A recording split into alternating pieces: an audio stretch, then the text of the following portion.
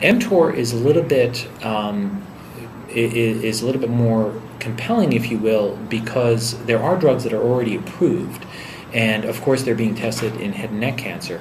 Um, so, be it the original inhibitor called sirolimus or rapamycin, or the newer ones called everolimus, uh, temsirolimus.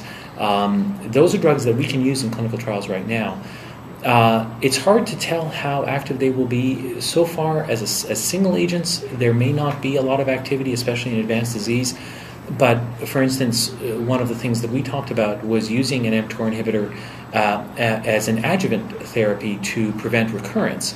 And in that context, in a um, in a minimal disease setting or in a patient who has no evidence of disease, we may get a lot of uh, activity, hopefully uh, efficacy of uh, inhibiting uh, a protein like mTOR. In patients that have very large tumors and recurrent metastatic patients, um, at that point their biology is probably driven by multiple things, and inhibiting just mTOR may not be effective.